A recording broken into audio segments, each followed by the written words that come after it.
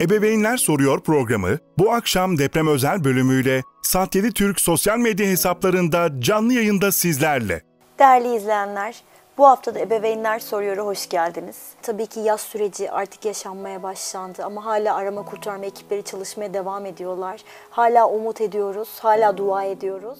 Nora Yazırlıoğlu'nun moderatörlüğünde uzman psikolog Dença Kristopuryan ve deprem bölgesini yeni ziyaret eden Dünya Görüşü programının sunucusu Senem Ekener'le birlikte deprem bölgesindeki çocuklar ve ebeveynlerin ihtiyaçları, depremden etkilenen ailelere nasıl destek olabiliriz ve çocukları nasıl destekleyebiliriz konuları konuşulacak.